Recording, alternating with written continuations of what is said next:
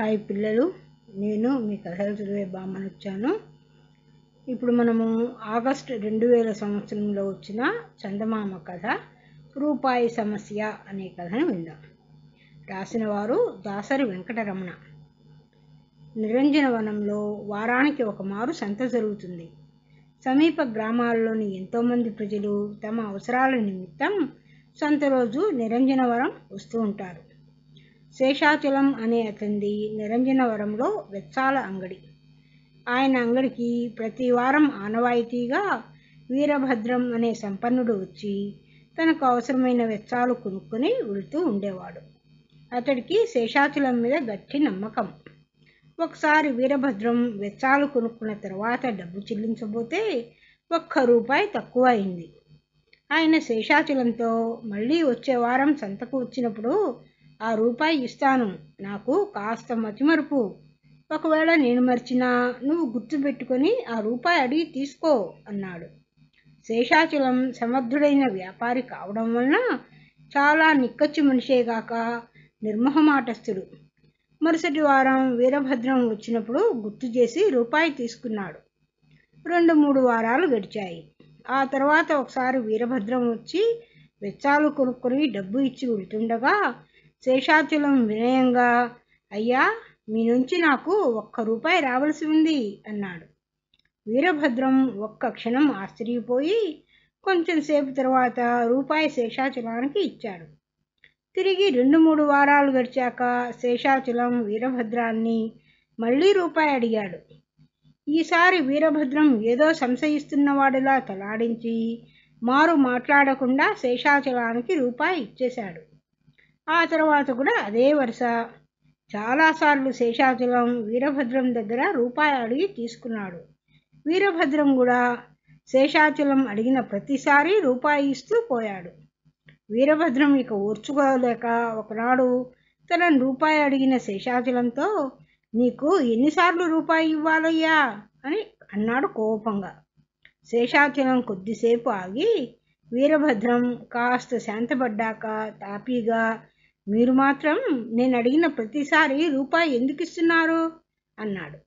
వీరభద్రం శేషాచలం ముఖంలోకి చూస్తూ చిరునవ్వు నవ్వి నిజం చెప్పమంటావా? అని అడిగాడు. శేషాచలం చెప్పమన్నట్టు మెల్లగా తులుపాడు. వీరభద్రం ఒకసారి గొంతు సవరించుకొని మొదటిసారి నేను రూపాయి ఇచ్చిన తర్వాత నువ్వు మళ్ళీ అడిగినప్పుడు ఇద్దాము అనుకుని మతిమరుపు కొద్దీ ఇవ్వలేదేమో అని రెండోసారి రూపాయి ఇచ్చాను. ఆ తర్వాత మళ్ళీ రూపాయి అడిగినప్పుడు రూపాయి నీకు ఇచ్చినట్టుగా నాకు బాగా గుర్తుంది.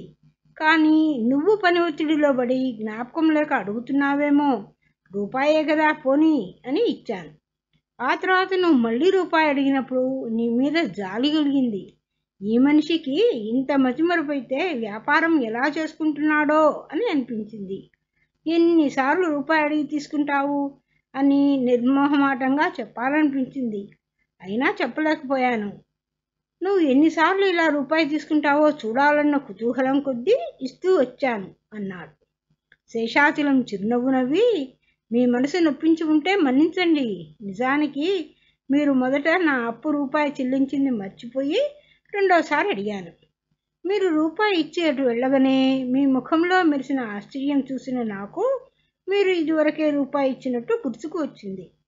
మీరు మళ్ళీ అంగడికి వచ్చినప్పుడు రూపాయి ఇచ్చేద్దాము అనుకున్నాను. కానీ తీరా మీరు వచ్చేసరికి మీరు ఏమంటారో చూద్దామని సరదాగా ఏమీ ఎరగనట్టు గంభీరంగా రూపాయి బాకీ గురించి అడిగాను.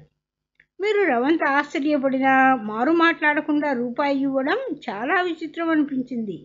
చూద్దాం మీరు ఇలా రూపాయి ఎన్నిసార్లు ఇస్తారో అనుకున్నాను. నేను అడిగిందే తడవుగా మీరు ఇస్తూ పోయారు. మీ రూపాయలు ఎక్కడికి పోలేదు. భద్రంగా మూటగట్టి పెట్టాను. అంటూ లోపలికి వెళ్ళి కొంతసేపు అయ్యాక ఒక చిన్న మూట తీసుకువచ్చి వీరభద్రానికి ఇస్తూ చూడండి మీతో ఉన్న చనువును బట్టి చెప్తున్నాను. మనిషికి మొహమాటం ఉండకూడదు. అవతల వ్యక్తితో స్నేహం చెడుతుందని మన వ్యక్తిత్వం చంపుకోకూడదు. నిక్కచ్చిగా ఉండాలి. మీరు రూపాయే కదా అని నిర్లక్ష్యం చేశారు. బంధువైనా స్నేహితుడైనా లావాదేవీలు సరికొల్చుకున్నట్టు ఉంటేనే బంధం చిక్కు చెదరకుండా కలకాలం నిలుస్తుంది అన్నాడు. శేషాచలం మాటలకు వీరభద్రం అబ్బురపడి అతన్ని ఎంతగానో అభినందిస్తూ నీలాంటి ఉత్తమ వ్యక్తి నాకు స్నేహితుడుగా లభించినందుకు చాలా ఆనందంగా ఉంది అన్నాడు.